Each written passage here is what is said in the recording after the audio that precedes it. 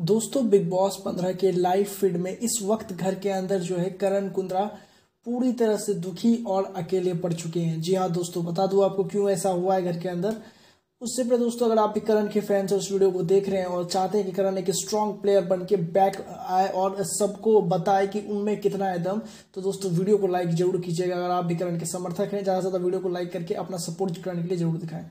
आपको बता दो दोस्तों कि घर के अंदर अभी अभी इस समय जो है करण कुंद्रा काफ़ी ज़्यादा अकेला महसूस कर रहे हैं और करे भी क्यों ना जब उनकी बातें समझने को तैयार ही नहीं है उनके ही लोग।